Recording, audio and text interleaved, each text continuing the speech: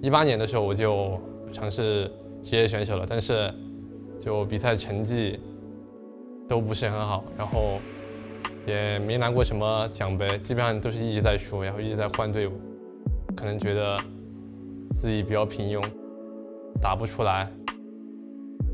主要是想赢嘛，因为我们已经输很久了。第一场比赛嘛，打 BOG，他们是世界赛八强的原班阵容嘛，所以一上来我感觉有点生疏。对于 T 来说，今天这场比赛确实打得相当不容易。我每次都会料到败者组嘛，输一把就没有了。我想对我的对手 EDG 说，Act One 第一场线下赛的时候，谢谢你们，让我们找到了自身的问题，也让我们的心态更强大。他们在国内的统治地位稳固而持久的存在着。二比零拿下了这一次进化者系列公开赛第二幕线下赛的首秀。对阵 EDG 的时候，亘古不变的一个话题就是他的弱图到底是哪一张？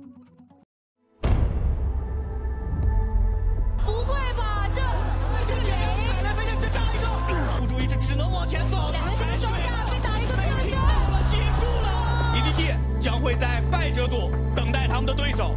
呃，这一次掉入败者组，就是在首先是国内的一场失败，呃，对我们还是会有点打击的。其实我觉得掉入败者组不是一件坏事吧，没有人是那种常胜将军，但输一场，感觉对我们的意义挺大的吧，比赢的意义大吧，我认为。他们今天确实打的都挺好的，我觉得他们可以赢啊。速这个字嘛，本来它的含义就有一点逆流而上的感觉，所以我觉得跟我们这两次比赛的表现一步一步逆流而上，还是挺契合的，一步一步往上走，战胜新的对手。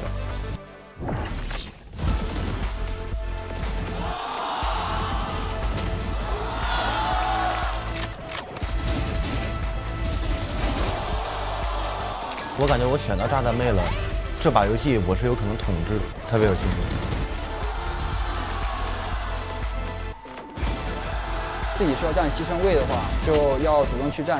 就你愿意在那个石头上增加什么样的色彩，才能淬炼出最精彩的自己？